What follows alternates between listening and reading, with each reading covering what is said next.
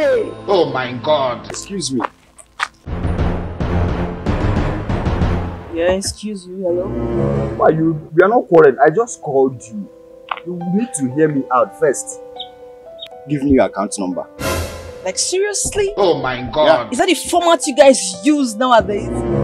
Do I look cheap or do I look poor to you? That is not what I'm saying. Now, listen. The Holy Spirit directed me to send money to your account. Oh my God. Okay. Since you made mention of the Holy Spirit, Yeah. let's try you.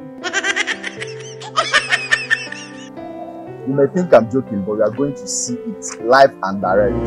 Jesus Christ. Yeah, baby. Five million naira. Oh my God. Whoa. Thank you very much, like sir. Um, I, I don't know what to say now. I don't know what to do. I'm very sorry for the way I, I, I spoke to you earlier. Sir, where's your house? Let's go. I can give it to you any side you want it. What? Up, down, left, right. I can. I'm equal to the text. To be mumu. You think say they wise? You want to like you want to give it to me front, back, left, right, up and down. Like seriously? Oh my God. You be mumu. Wait, wait. Are you trying to let me know that you are an ashawo? Oh my God. No, no, no, no, I'm not.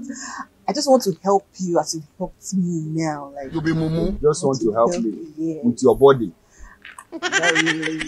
Now listen, just like I told you, I was actually directed by the Holy Spirit to send this money to your account. listen, young lady, God is interested in you. Are you hearing me? The Lord is interested in your life. That was the reason why He asked me to send this money into your account so that you can use it and start up something for yourself. Stop selling your body for Christ's sake. No, no, no, no, no, no. Why will I reduce my voice?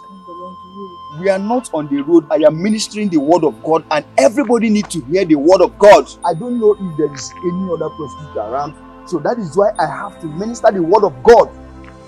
Are you hearing me? Use this money and start up something for yourself. This body you are seeing is not your own, it is the temple of God. You don't have to defile it for any reason. The Lord is not happy with you and all those people selling their body in the world.